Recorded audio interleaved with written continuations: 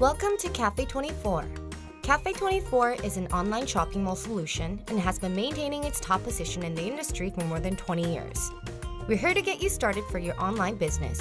Let's learn how to create specific categories to be displayed on your storefront.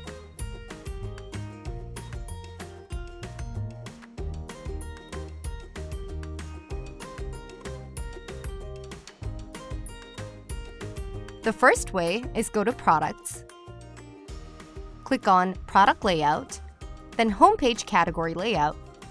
Inside the page, let's click on Manage Home Categories. Change the category name to a name you prefer. I will name mine Trending Products. Click on Save when finished. Now, let's put products into the category we just created. Inside Product Layout, click on Add Product. Select a product you wish to add inside that category. I'm going to choose my jumpsuit today. Now that we have added a product inside the Trending Products category, click on Save. Let's check how this category is being displayed on our storefront. Click on the monitor icon on the very top.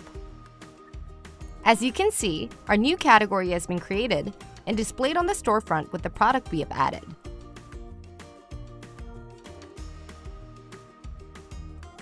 Let's move on to Smart Layout. Smart Layout is a function which you can set conditions for how you will display your product inside a category on the storefront.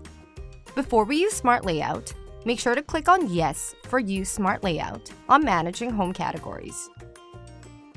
Let's set conditions for a new category, Trending Products. On Product Layout, go to Smart Layout. You should see a screen where you can choose a category you'll be working on. We should select Trending Products. Click on the Smart button next to the category.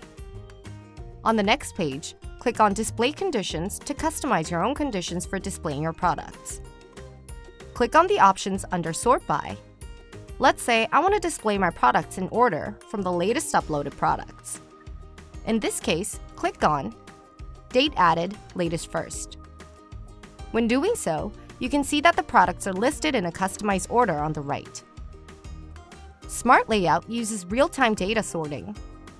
So for our case, whenever a product is uploaded, your storefront category will automatically be updated. Click on Save on the top when you have completed setting up your conditions. Now let's check our storefront and see if our products are being displayed in our customized order. Click on the monitor icon on the top, and you can see that our category is displayed in order from latest uploaded products. Let's move on to the drag and drop.